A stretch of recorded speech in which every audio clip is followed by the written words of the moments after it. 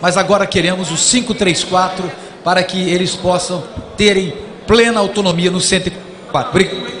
Deputado Mauro, primeiro depois senhor, senhor presidente, deputado Rodrigo Maia, eu gostaria de conclamar meus colegas deputados e deputadas para que venham ao plenário votar esse importante projeto que regulamenta que o ajuste fiscal nos estados. Hoje, o nosso estado, o Rio Grande do Sul, precisa muito do apoio, do coleguismo de vocês, porque esse projeto que nós vamos votar hoje, ele vai beneficiar todo o país. É lógico que o estado que não precisar, melhor. Mas nós estamos precisando, como o Rio está precisando, como Minas Gerais está precisando. Então é muito importante.